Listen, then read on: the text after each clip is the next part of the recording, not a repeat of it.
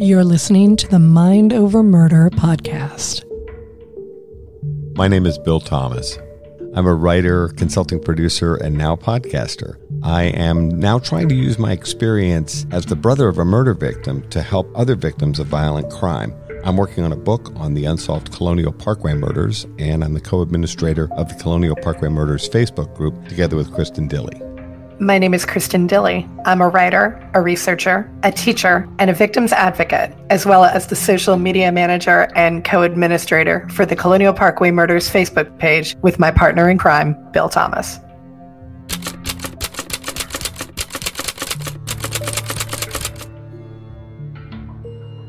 Welcome to Mind Over Murder. I'm Kristin Dilley. And I'm Bill Thomas. And we're joined today by reporter and podcaster Paul Wagner of the American Nightmare podcast. Paul, thank you so much for joining us today. I can't thank you guys enough for having me. I love your podcast. And so it's a thrill to be questioned by you guys. As we were saying off air, Paul, usually you're the guy asking the tough yeah. questions. That's fine. It's, it, just go ahead. I'm an open book. Hit me. Before we start talking about the podcast, let's actually go ahead and start with you and tell us a little bit about how you got your start in broadcasting. So, when I was 14 years old, growing up just outside New York City in northern New Jersey, I was fascinated by New York radio and I would mimic all the DJs. And I just thought it was the coolest thing. And I lived in a neighborhood where we had people that lived, that worked in the news business and worked for the big networks. Our next door neighbor worked for ABC, another network, I'm sorry, another neighbor worked for ABC television, another one for ABC radio, another one worked for CBS. And so I was always questioning them about the business and I was just fascinated with it. And so when I went to high school, we had a little radio station there. And then in college, I went to one year of college at William Paterson College in Wayne, New Jersey. But they had what was called a carrier current. You could only hear the station in the buildings. And I then had an opportunity to go to Mount St. Mary's College in Emmitsburg, Maryland, and they had a 10 watt radio station so you could hear the radio station anywhere around the campus in your car. And it was just so cool. I just thought that was the neatest thing. And then while I was at school, I got my first professional job at WYCR FM in Hanover, Pennsylvania. It was a top 40 station. And so I did the news and I did I did some DJing. And then I went home for a year, went on a backpacking trip to Europe. And then I came home and my dad kicked me out of the house. He said, Go down to Washington, D.C., move in with your sister he says she's got an open room. Go find a job. And it was so fortuitous, and the timing was just serendipitous. I get down there, and there's a little company called Metro Traffic Control that was starting up. Oh yeah, and they were okay. And they were they were looking for mobile reporters that would go out in the rush hours and report on traffic. And I'm a young guy and I'm like, oh, this is pretty cool. And it didn't pay anything, but it got my start in broadcasting. And uh, my claim to fame in that job was that I was given binoculars and a two way radio and told to go to the top of the Washington Monument and report from the top of the Washington Monument on all the bridges across the Potomac River. So I did that for a few years, and then I uh, really clamped down on, on myself, and I said, uh, if I'm going to be a newsman, I got to find a news job. And I started at a news station here in, I'm sorry, it was a oldie station here in Washington D.C., and I did the news there for a couple years.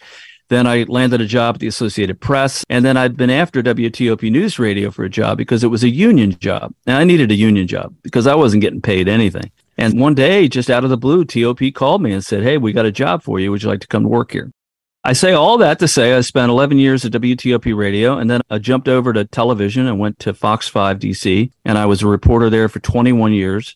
And then I took a buyout. And while I was producing podcasts for WTOP, WRC called and said we could really use a, a, another reporter and can you come and help us out? So I'm now working there part time and then I'm producing the podcast, the American Nightmare podcast for WTOP. So that's it in a nutshell. One of the questions that Kristin and I wanted to ask you, you're very unique in that you've worn these different broadcaster hats. You start out in radio, then you go over to television for a 21 year run, which is amazing that you were at one station for 21 years. Yeah. Then you're doing podcasting and radio, and now you're back into television. What's your take on the various platforms, radio, television, and now podcasting. What's similar and what's different about those three types of transmissions, if you will? Very good question. So with radio, I was compartmentalized to 35 seconds a story. And it, you just can't tell a story in 35 seconds. And that frustrated me. Fortunately, I had been developing sources while I was at WTOP and I started breaking a lot of stories. And there was a news director at Fox 5 that found out and was listening to my stories and decided, let's give this radio guy a try and uh, took a chance on me. And uh, what I really enjoyed doing by going over there was that I was going to get a lot more time to tell the story. And so I was going to get two, maybe three minutes if I'm really lucky to tell a story. And I think you can tell a good TV story in about two minutes when I started seeing what podcasting was doing, I was just enthralled by it because I was like, wait a minute, you can really get into a story with podcasts and mm-hmm. there's no time limit and you can add and subtract and nobody's going to tell you, sorry, Wagner, you can't have that amount of time. And our series have some of them gone 45 minutes, gone an hour, but it based on what I had and what I thought was interesting. And so I think the podcast format is my favorite at this point because of the ability to be able to just add everything and not leave anything out. Because in TV, you're always leaving something out. Yeah, that's what I love about it. And that's definitely something that we like to being able to devote yeah. as much time as we need to a subject so that you can really get all of the information out there. Exactly. For anybody who's not familiar with American Nightmare, go ahead and give us a summary and a breakdown about American Nightmare. So, what happened was Fox 5 offered me a buyout, and uh, I was at that time in my early 60s. And the buyout was a nice chunk of change. And I went to my wife and I said, What do you think? And she said, You got to take the money because I was coming up on being able to take my pension. And then I had this story that I really wanted to tell in a podcast. And I'd already done one podcast for Fox 5. I did it on a notorious murder here in the city, which is soon going to be a, a Peacock documentary that I'm part of. I did a podcast for Fox 5. And so that gave me the taste. It was mm-hmm. like of what podcasts can do and how fun they are to put together. And so I took the buyout and I had this story and I started writing it. I took a summer and I wrote the story. And I had to get the three children of the murder victim to agree to tell their stories. It wasn't easy. and they were a little apprehensive, but I was able to talk them into it. And fortunately, their stories came out and just were just so touching to hear what happened to them and their mother. And so that was called Murder in a Safe Place. It was Sherry Crandall was her name. She was a nurse and she was murdered inside her office at a hospital in Prince George's County, Maryland in 1998. And so that's why we called it Murder in a Safe Place. At the end of that summer, I talked to several good friends who frequently give me advice. And I said, What do you think I should do with this? And they said, Why don't you take it to a news organization because you, you're going to need a backer. You're going to need somebody to support you. And so I approached the Washington Post. They weren't interested, but I went to WTOP and they jumped on it immediately and they wanted it. And part of the reason they wanted it is because they have a stake. Hubbard Broadcasting has a stake in a server called Podcast One, and they were looking for stories. And I went to signed a contract with them to get this thing going and off the ground. And fortunately, they had a really good editor there who helped me. And we basically rewrote the whole podcast. Oh, and wow. then, yeah, I know. But it turned out so much better because I can write, but having an editor is a good thing. So that's how it came together. And it's an open ended deal with WTOP. And then I, we came up with the second one called Unknown Subject, which is out now, which has got nine episodes. And uh, now I'm looking for a new subject. One of our questions was so you've done several seasons. How do you choose the cases you want to cover? That's a very good question. So, the 21 years I was at Fox 5, I got to know a lot of cops and I got to know a lot of cold case cops. And I was fascinated with cold cases. And the boss at Fox 5 then gave me what we call at the time a franchise. And so every Saturday night, I'd feature a cold case. And it was usually an extended story, something that was like five minutes long. And that's long for, w- for, uh, for television. I got to know a lot of cops. And so I got to know and hear about a lot of these cold cases. And with Sherry Crandall, I got to know the detective many years ago and I featured her murder on Channel 5. And then I stayed in touch with the detective and I stayed in touch with Sherry's daughter, Tiffany. So after I took the buyout, I approached Tiffany and I said, What would you think about me telling your mother's story in a podcast? And it took a little bit of persuasion because she wasn't mm-hmm. really clear on what a podcast really was. Her brother, excuse me, her brother Darren is a cop. He was a little apprehensive, but he came around. And so once they had agreed to it, and then I called the detective and I said, Look, I got the kids on board. Will you do it? He said he would. And then WTOP, when I went to them, they said, All right, if they're all on board, you need to go to the police and tell them you need an open book on this case because you can't do this story and say sources say this and sources say that. We need to be able to say what we know about this case. And I fortunately knew the former commander of homicide who also agreed to take part. And so that's how it all came together. Yeah, one of the things that I eh, was very curious about is is the level of cooperation from law enforcement because we know from personal experience that there are times when law enforcement is a little leery of getting involved in media and podcasts and various other things. It, it seems pretty clear that your relationships with law enforcement have helped you. Oh, there's no question. Fortunately, built a good reputation here in town. And, and because I had so many cop friends, they all talked to each other. And I knew that they were talking to each other about, can you really trust Wagner? And can you tell him things and tell him it's off the record and he's going to trust you? And, and I'm sure some of them tested me on that. But yeah, that. And the other part to this too is that although the detective in Murder in a Safe Place is still the lead detective and he still works for the Prince George's County Police, most of the others were already retired. It's easier to get a detective to open up if they've been retired because they feel they feel like they can speak more freely rather than having the public information office breathing down their neck saying you you have to be careful in what you're going to say. So that's that that's part of it. And in unknown subject a lot of the people that i talked to were retired and that that helped as well so, talk to us a little bit about the case that is at the heart of Unknown Subject. Just give us a little brief overview of that, if you would.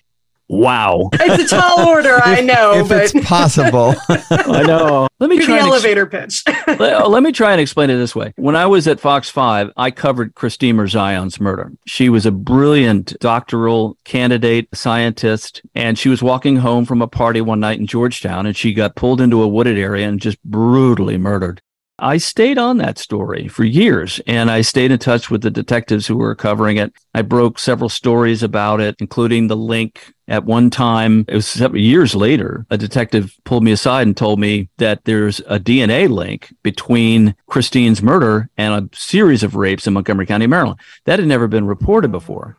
I broke that angle of the story and then just kept at it once I had finished Murder in a Safe Place, I figured this was a good one to do because they had made an arrest in the case. So the, I guess the short version of this story is that this was a man named Giles Warrick who worked as in construction in Montgomery County, Maryland. And he was accused of going out at night and committing these awful, vicious rapes. And then he stopped because the cops couldn't find DNA after a certain period of time. Mm-hmm. So after 1998, so from 1991 to 1998, they knew they had a DNA trail from this guy.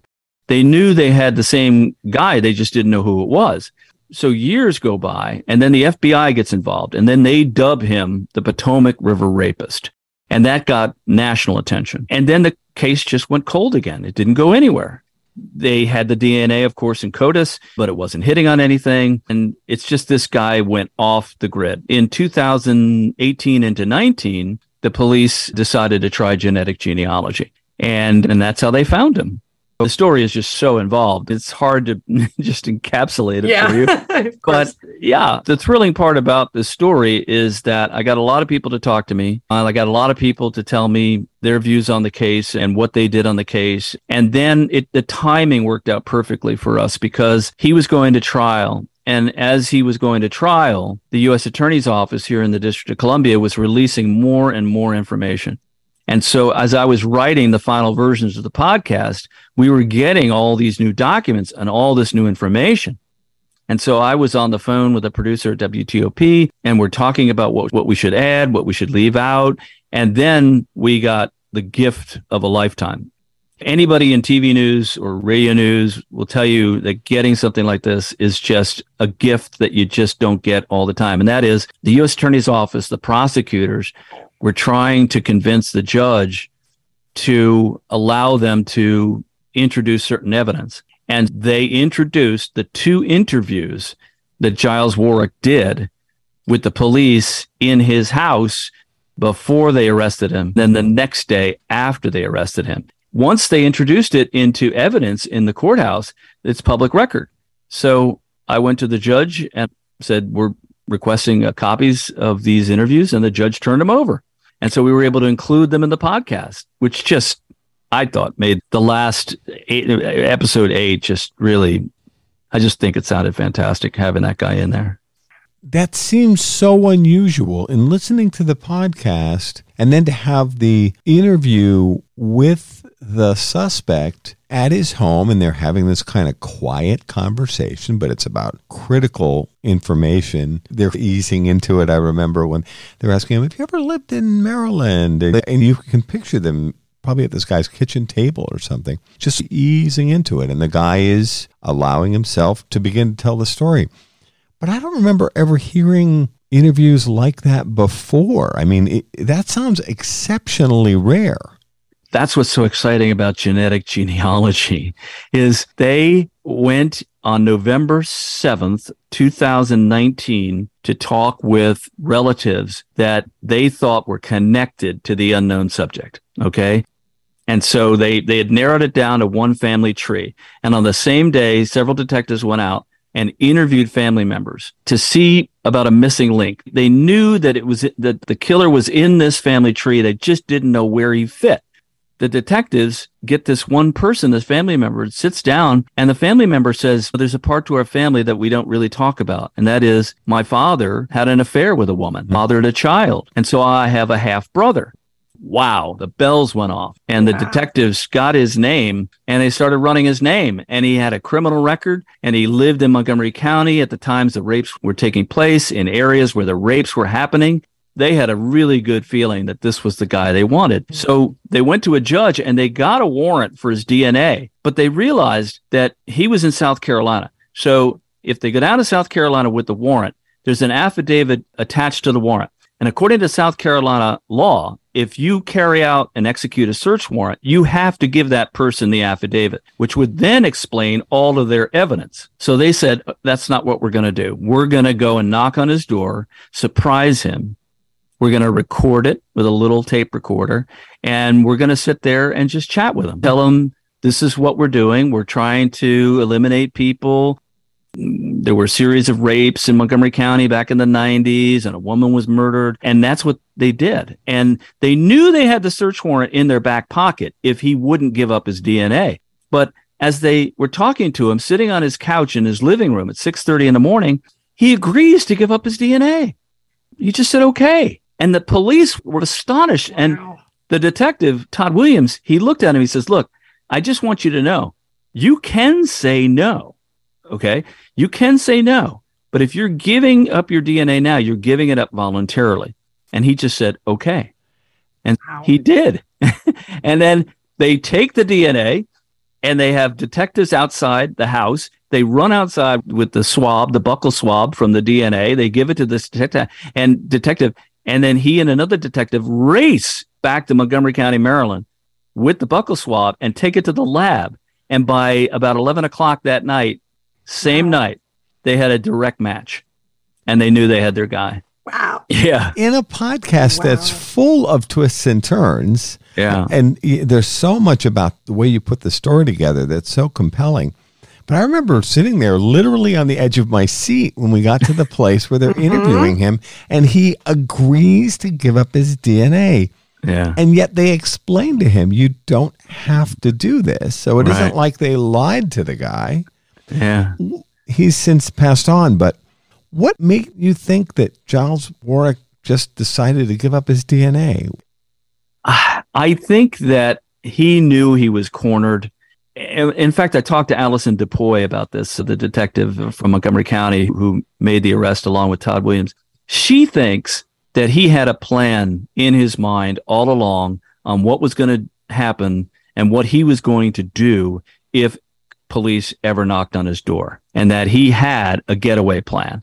And so he figured because the police told him, and of course they allowed to lie. And they told him it would take six to eight weeks to get their results back. Whether he ate that or not, I'm not sure. But we do know that right after the police left, he started to get his plan in place to take off. We don't know where he was going to go other than in the middle of the night, lights start coming on inside his house. The police have the house under surveillance. They realize he's on the move.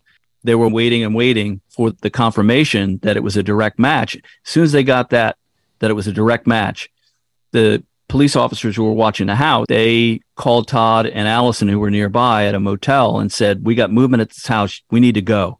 They all went back to the house, knocked on the door. He answers the door, and they took him into custody and charged him. But he had laid out on his kitchen counter his plan. He'd left a, a letter which we call the consciousness of guilt letter, where he apologizes to the woman he was living with. And he signed over titles to certain things, whether it was a house or he had a, he owned a house in Frederick County, Maryland. So he signed over some titles. He left some cash and he left this note. And then he was going to go. And we don't know where he was going to go, but the cops were watching the house and sorry, pal, we're going to lock you up.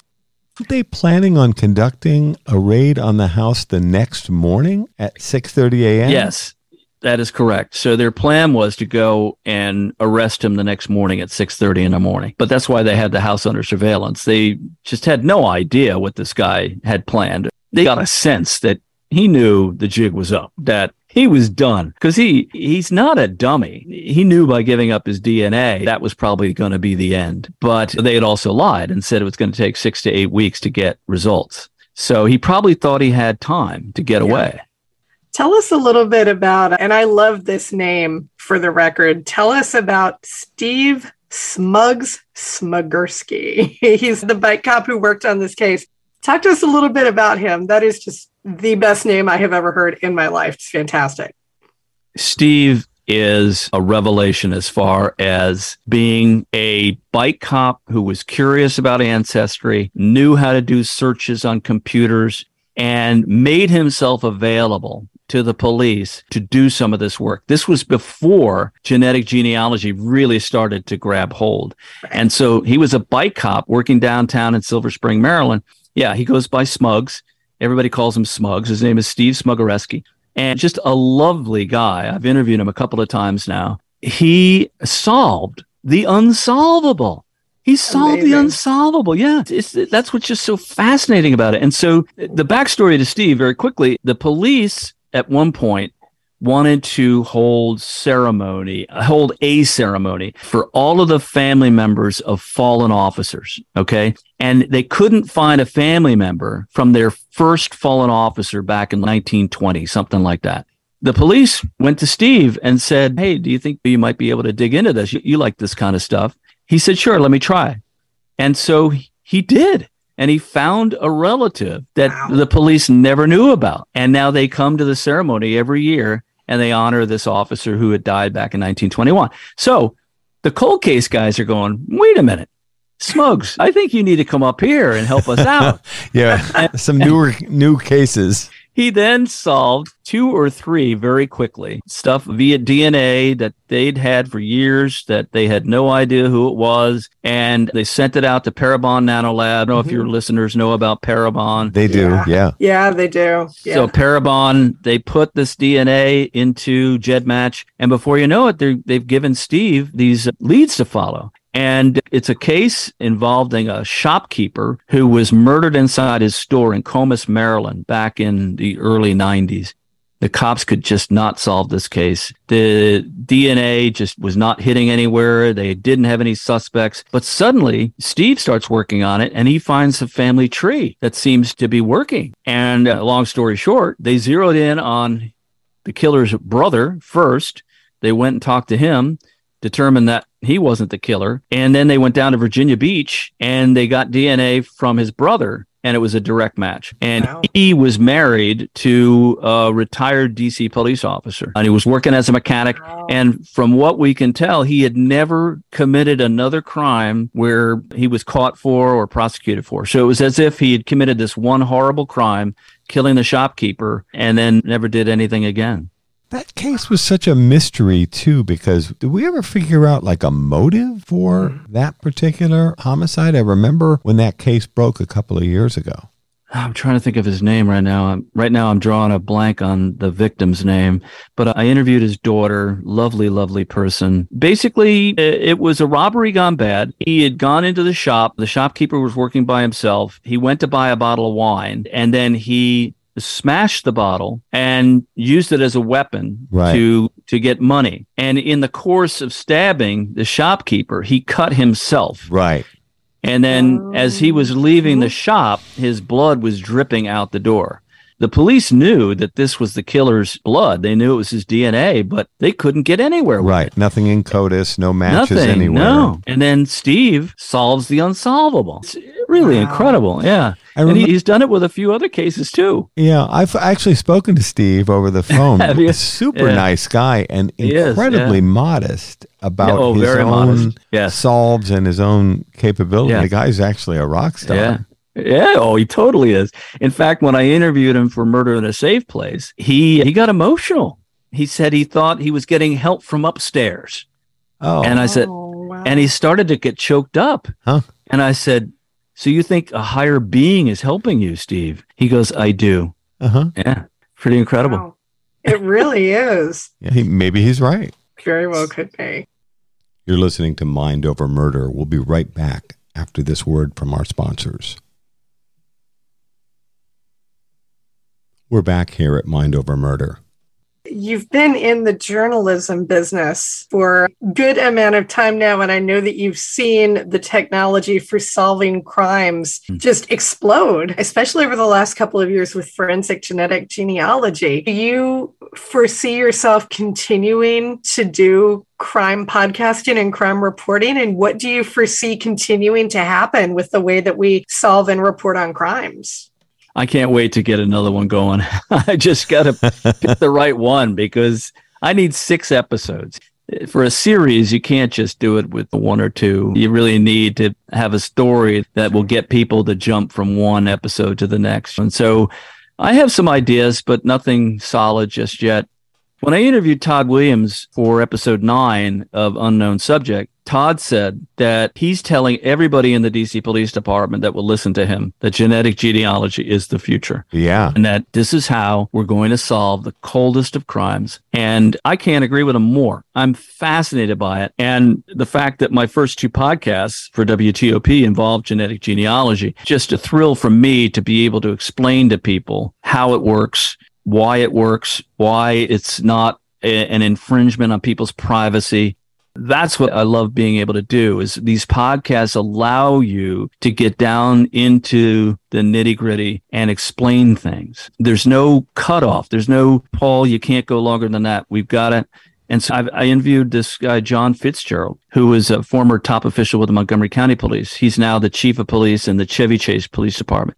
He took an interest in genetic genealogy because he saw a few years ago there were these Mar- Maryland, at least one Maryland state legislator who wanted to legislate it out. Oh, He wanted eh, yeah. They've Mhm, moved I it. There are people in Annapolis that have completely moved in the wrong direction. Yeah, and he saw that and he was like, "Oh boy, I got to jump in here." And he did. And he was able to convince this legislator that his position on this was wrong because he wanted to outlaw it completely. Yes, Wanted I to remember end- that. Yeah. So remember so they there there is there is a law now in place that detectives have to follow if they want to use genetic genealogy to solve a crime they have to get an approval from a judge and so it's, it's just another step for these detectives who are trying to solve cold cases anyway john i was able to take my interview with john and let him explain from beginning to end why it's important and why it's not an infringement on privacy. And mm-hmm. it just fit perfectly into the podcast. Do you think those decisions made by some of the Maryland legislature will impact solving cases using investigative genetic genealogy in a negative way? I stay in touch with detectives who are trying to use genetic genealogy. And I think if this was a barrier at this point, I'd be hearing about it, and I'm not. I know that there's detectives who have a stack of cases And my understanding of it, at least the initial approach to it, is that they have to go to a judge with, I've described it as an affidavit, but they Right. have not described it that way. They've described it as a, just an explanation of what they want to do. And then they just have to have a judge sign it. It's not like a search warrant where you're looking for probable cause. At this point, I haven't heard any kind of adverse moves by legislators in Annapolis to put a damper on this kind of investigative work. But I'll tell you this the more that you can highlight the successes of it, I think the less these legislators are going to have any kind of backing. Is there a case that you're particularly familiar with that you would like to see genetic genealogy used on that hasn't had the treatment done to it yet? Kristin, that's a loaded question. She's good at those. I know that they're working on cases right now with genetic genealogy, but let me tell you about one case that I did back in October.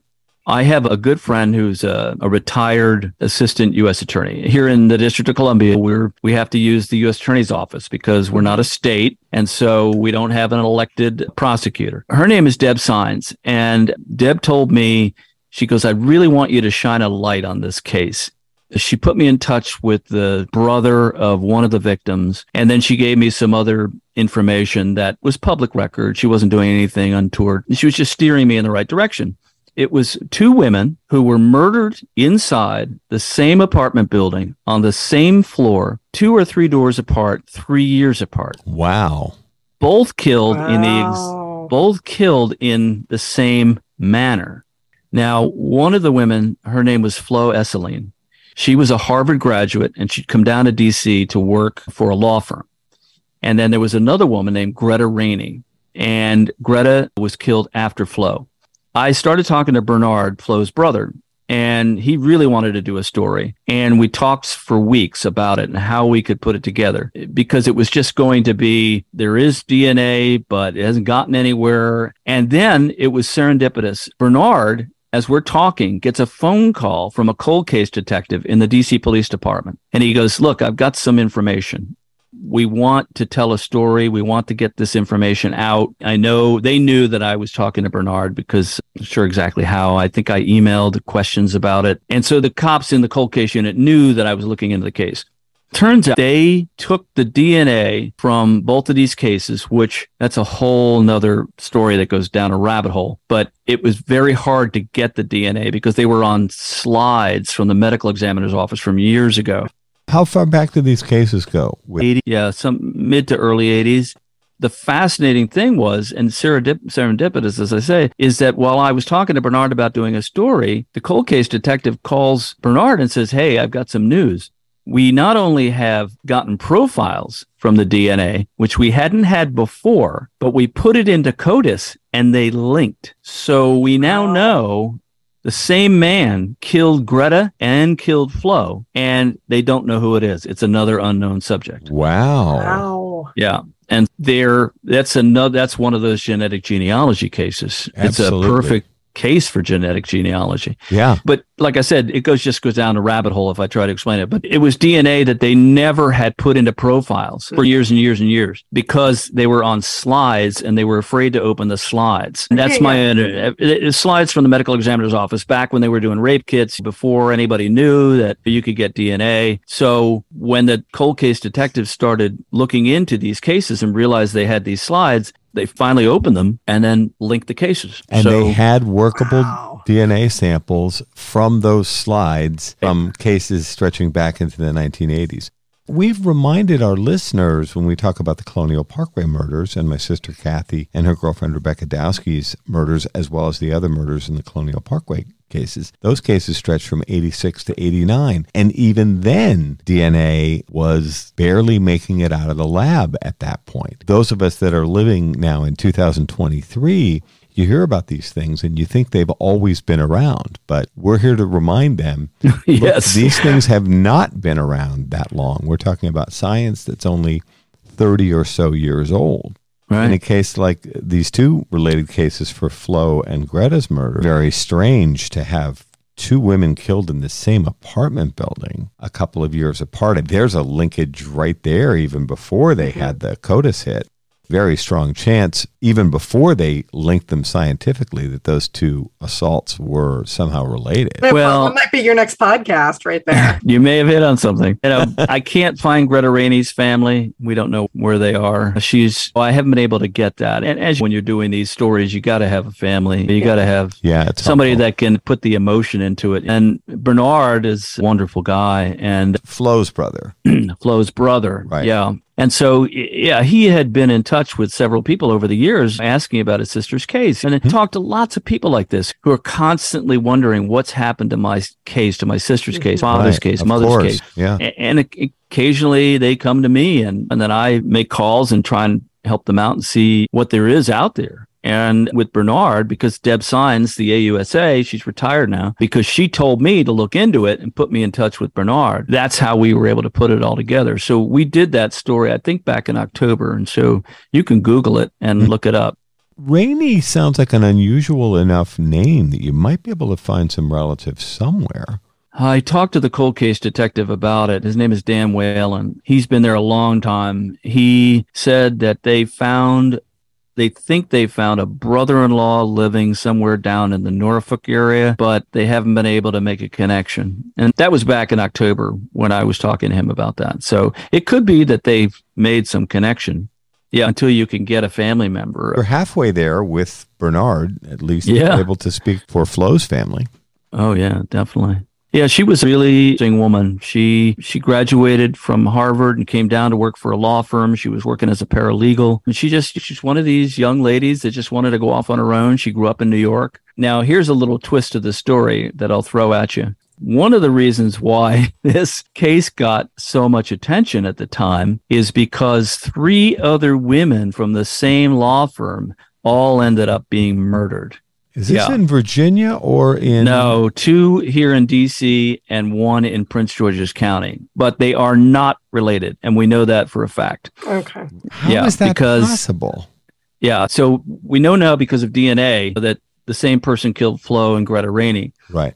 This other person, her name was Catherine Schilling there was a man named Donald Gates who was railroaded by prosecutors using junk science to prosecute him, sent him to prison for over 20 years for killing Catherine Schilling. And they found DNA in that case and tested it and determined that he was not the killer. He was let out of prison and he won a, a lawsuit because of the lawsuit, the U.S. Attorney's Office decided to see if they could find the real killer in CODIS. And this was a little complicated. The, the prosecutor told me he had to do a keyboard search, and I'm not sure what that is. But in any event, they found the real killer of Catherine Schilling, but he's dead. So they know that a different man killed Catherine Schilling, and they know a different man killed Flo. And then there's a third woman. They believe that she was killed during a robbery outside an apartment in Prince George's County. So the three are not related. But for years, it was the talk of chatter amongst people about how three women who all work for the same law firm ended up getting murdered. It does seem awfully strange. I would imagine that sometimes you ha- do have detectives, current or retired detectives, that would like you to explore certain cases that have stuck. Oh, definitely. Oh, absolutely. That was the case with Flo for sure. Dan Whalen, when the commander in charge of cold case found out that I was looking into the murder, he told the cold case detective. And then for weeks, Bernard and I were just chatting and we hadn't come up with an idea on how we were going to tell the story. And then when they got the connection with the DNA through CODIS and linking those two murders, Dan Whalen said to Bernard, he called Bernard and he said, this case needs to have some light. And I know Paul is working on this case with you. Would you do a story? And Bernard was, of course. So he came down in October and I interviewed him and I interviewed the commander of homicide and, uh, and then we put the story together. So was I, this a radio story or a television story? No, it was a television story for Channel 4. Yeah. Okay. Uh, we'd love yeah. to see that. Boy, this sounds fascinating. Mm-hmm. And I yeah. was not familiar with this case until you started telling us the story. Yeah, I'll send you a link. If you just type uh, Flo's name, it's it's a Haitian name, so it's hard to spell, but it's pronounced uh, Florence Esselin. And in fact, if you just if you think if you Google Florence Esselin and Greta Rainey and Paul Wagner, it'll come up. It'll, it'll come up. Yeah, it'll and come up. Yeah. We'll include that in the show notes for this yeah. interview as well. This is fascinating. Yeah. It's amazing that these two women could be connected in death. And this sounds like this would be perfect for genetic genealogy. Mm. Oh, absolutely. That, like I said, the genetic genealogy is solving the unsolvable. That's yeah. the, the cases that the, the detectives have been beating their heads against a wall over for years. Yeah. And sudden and suddenly this new technique comes along and wow, it's just fascinating. Of all of the cases that you've covered, and you've given us quite a few at this point, is there one in particular that has such a stranglehold on you that you're never going to be able to forget it, that you'll always have a place in your heart for it? There are a number of them. Some have been solved, and it's mainly because of the connections that I made with family members. But there's a murder mystery here in DC that fascinates everyone. As I mentioned off the top here, it's about to become a Peacock documentary. And it's about the murder of a, a young lawyer named Robert Wone. And it's spelled W O N E, Robert Wone. And Robert was murdered inside a home in the DuPont Circle area back in 2006, I believe it was. He was stabbed to death, and there were three people inside the home at the time that he was stabbed. No one has been charged with Robert's murder, but the three men who lived in the house, who were all a polyamorous family, they were charged with obstruction of justice and a charge with conspiracy and tampering with evidence, I believe, too. Anyway, there was a mm-hmm. sensational trial. Sensational trial. It was just one of those trials. I covered the Chandra Levy trial. This one was just off the charts with people's interest in it. And anyway, they chose a bench trial rather than a jury trial and they were they were acquitted. The story is so involved. It's just, it's so involved. I can't even encapsulate it for you. There is a podcast out there that I did called The Mystery on Swan Street. And then I am also the narrator of this upcoming documentary. And I don't know if they've named it yet, but um, I recently did some more work on it and it's coming from Peacock. In that case is when you talk with fellow reporters who've been around forever and the Robert Wone case always comes up. People just oh. are fascinated with tossing ideas around on what happened. In fact, there was a, an Audible podcast done on it back, I think, two years ago. So, di- yeah, there's a different one than you did.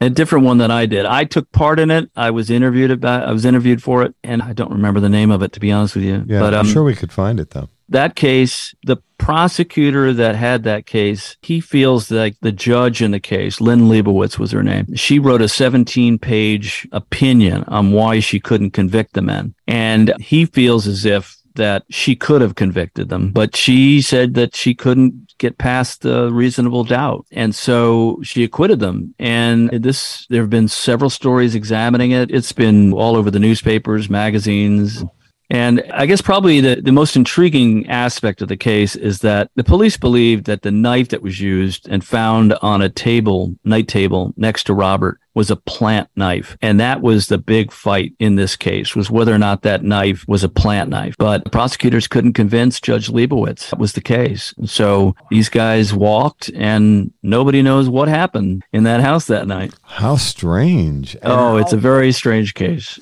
very strange case. I was also thinking, how often do murder cases end up as bench trials bench as trials, opposed to yeah. jury yeah. trials? Yeah. I can tell you a little bit about that. So these men, these three men, were gay men, and they lived a poly polyamorous life. They were into bondage, some stuff that church ladies may not have found to be too yeah okay okay yeah. So they might have so had a hard time getting a fair trial. Yeah. So the defense said we want a bench trial, and the prosecutors they could have challenged it, but they also thought about it and said, you know what, it's probably true that DC is filled with these Baptist women who would sit there in the jury box and maybe have a tough time with that. Very interesting. What a strange story, though. And it appears that this poor man was murdered and no one was ever held to account. No, but there's no double jeopardy here because they weren't charged with murder. And Glenn Kirschner is his name. I'm sure you've seen him on MSNBC. Oh, sure. Uh, yeah. The, political... the last couple. yeah. Glenn was the prosecutor in that case. So he feels that after this documentary airs, that maybe something will loosen up and they'll finally be able to find out what happened. But here's the key part to the story. Robert is a straight man and he was married. He worked for Radio Free, not was it Radio Free, Radio Free Asia he and Joe Price, who lived in a house, were good friends from William and Mary. He had a, a late night interview with people at Radio Free Asia. He had just taken a job there as general counsel. So he asked Joe if he could stay over at the house. And because he wanted to go to this meeting and then he had another one very early the next morning. So rather than go home to his house in Oakton, Virginia, he asked Joe if he could stay there. Uh, and so that's the twist in this case. And that was straight. And the three men living in the house are gay. Robert, according to uh, prosecutors and police, was sexually assaulted before he was stabbed. Oh, that's strange. Oh yeah, it's crazy case. Well, it's probably the the most fascinating murder cases in D.C. that hasn't been solved. Amazing. And so this will ultimately be a Peacock. Will this be a multi-part true crime? My understanding is it's a two part hour long documentary where all these people are interviewed. I'm the narrator because I was the reporter they asked to help them with the case. So I sat for a whole day being interviewed and then I did some more work on it recently doing some voiceovers. It's a true, a true crime mystery, but they stick to the facts. It's not one of the, my understanding is they're not sensationalizing it at all. All they're sticking to the facts about everything in the case. It's it's two hours, and I'm not exactly sure when it's coming out because I think it was already it was supposed to be out back in September or something like that. Does Glenn Kirschner participate as the former prosecutor? He does. He does. Yeah. Oh, yeah. It's funny. I see him now doing political commentary and that sort of mm. thing. I know he was a prosecutor though, because he does reference it. He's interviewed in this uh, documentary, and I interviewed him for the original podcast that I did on the story, The Mystery on Swan Street, that I did for Fox 5. So I, in fact, that was the first time Glenn ever sat down to talk about the case because he had just retired. And I called him up and asked him if he would take part. And uh, he agreed. So it was the first time anybody had interviewed him because uh, when you're working for the U.S. Attorney's Office, you're not allowed to do interviews. But once he retired, he was fair game. Paul, for anybody who wants to locate all of your various podcast endeavors, where can they find all of your podcasts? You can find them on any platform, anywhere you get a podcast. It's called American Nightmare Series. And then there, there are three podcasts in the series. The first one's called 22 Hours. That was done by another reporter. And then I did Murder in a Safe Place and the most recent one, Unknown Subject, which is nine episodes long. And so you can binge on it if you like. So yeah, any anywhere you get podcasts, just type in. You can either just type in WTOP or American Nightmare Series. You'll find it. Thank you so much for joining us today, Paul. We really appreciate it, and we look forward to having you back to talk about the next iteration of American Nightmare. That was fascinating discussion. Thank you for having me. That's going to do it for this episode of Mind Over Murder. We'll see you next time.